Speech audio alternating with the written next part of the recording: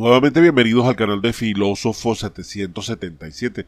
En esta ocasión vamos a hablar de Luis Ortega. Luis Ortega hace cuatro horas dijo lo siguiente, la actuación de los militares es fundamental para Venezuela.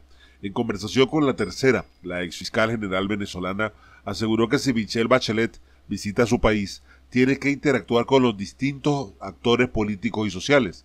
Bachelet debe ver lo que está pasando sin pelos en la lengua, incluso antes de esa ruptura con el chavismo, que en el 2007 la llevó hasta lo más alto del Ministerio Público y que siete años más tarde la destituyó tras la conformación de la Asamblea Nacional Constituyente en Venezuela, la ahora ex fiscal nacional de ese país, Luis Ortega, se ha transformado desde su escape a Colombia en agosto del 2017 en una de las voces más importantes que aboga desde el exilio por la salida del régimen del dictador Nicolás Maduro. Tanto así que Ortega fue la primera en presentar pruebas que vinculan al bobo de Cúcuta con actos de corrupción en el marco del caso Odebrecht. La fiscal es una figura incómoda para el régimen de Nicolás Maduro. De hecho, fue acusada de formar parte del supuesto atentado contra Nicolás Maduro el 4 de agosto en Caracas. Si yo estuviera detrás de ese plan, el país estaría celebrando su libertad, respondió eh, Luisa Ortega cuando se le hicieron las acusaciones. Desde Bogotá, Ortega conversó con los medios de comunicación para entregar un balance sobre la crisis venezolana y para reiterar su llamado a las Fuerzas Armadas Nacionales para que actúen en la legalidad contra el gobierno. Ustedes son los únicos responsables, tendrán todas las garantías que ofrece nuestra Constitución. La actuación de los militares es fundamental en Venezuela para la liberación. Según la pregunta que se le hizo cuál es el balance frente al último año de la crisis que arrasa Venezuela desde el 2015, respondió Este año hubo una gran agudización de la crisis que vive Venezuela, un deterioro de la calidad de vida de todos los venezolanos. El balance del país es trágico y, desesperanzador. Los venezolanos están viviendo la peor crisis de la historia republicana de Venezuela la peor tragedia. Ni en la guerra federal se vivió esta situación que vive hoy Venezuela. Y todo por culpa de la responsabilidad de Nicolás Maduro y de su grupo de gángster que lo acompañan. Le preguntaron, ¿estaría dispuesta a liderar el proceso de transición que espera para Venezuela? Ella respondió, todo lo que sea necesario por el bienestar, la prosperidad y el rescate de la democracia y libertades en Venezuela, yo lo voy a hacer. No tengo otro objetivo, ni otra actividad o otra tarea que no sea trabajar en función de todos los venezolanos. Si se hace necesario que yo participe en la transición, lo haré, y haré todo cuanto sea necesario para que mi país vuelva a ser lo que era antes. La verdad es que dentro de mis planes en ese momento no tengo prevista una candidatura presidencial.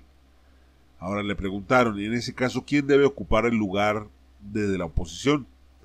Pasado el punto crítico, cuando Nicolás Maduro tenga que salir del poder, se tiene que producir una transición, se tiene que formar un equipo que trabaje en función de restablecer todas las garantías en el país, respondió Luis Ortega.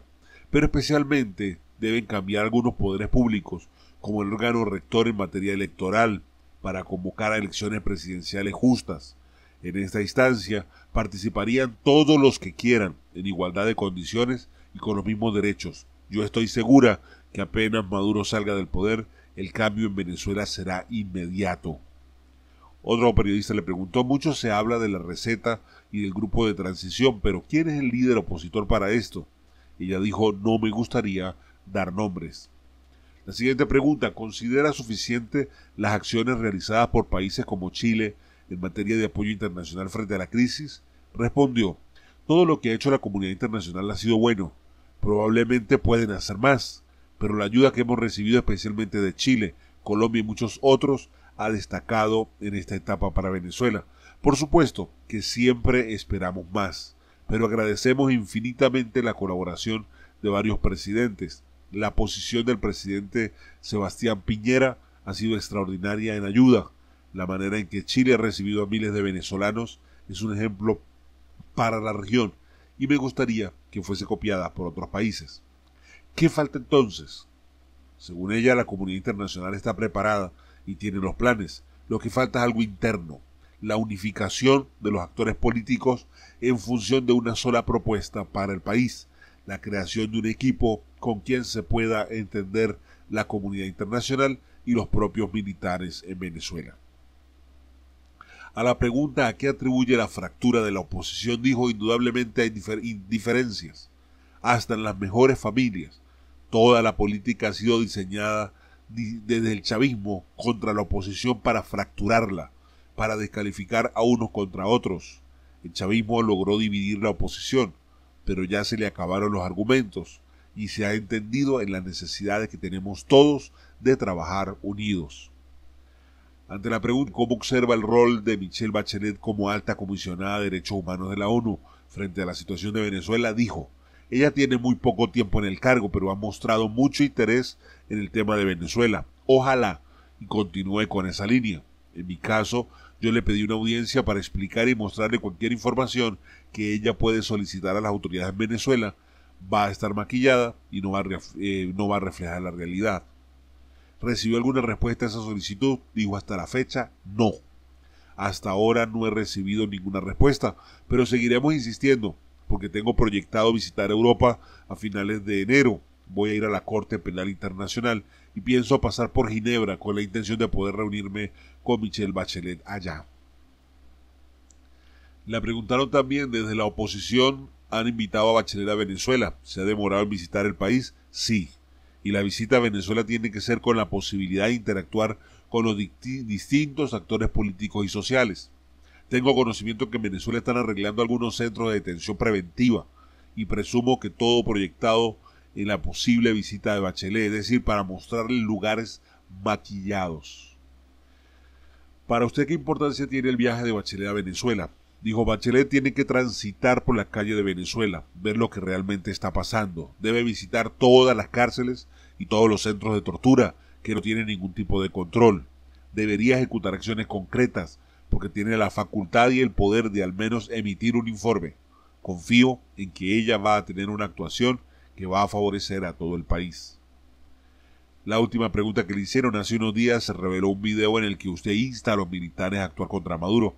¿Es esa la única salida considerando el avance de la crisis? Respondió, es parte de los distintos actores políticos y sociales que deben participar para recuperar la democracia en Venezuela. La actuación de los militares es determinante y fundamental, pero también de la sociedad civil en general.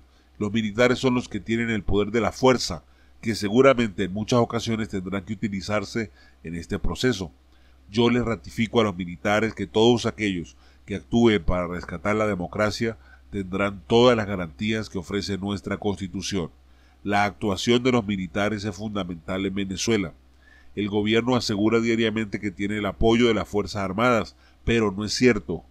Es solo la cúpula militar la que apoya a Nicolás Maduro porque los tramos medios ya están hartos y esa es la entrevista que le dio eh, Luisa Ortega y el llamado que hace a los militares para que reaccionen.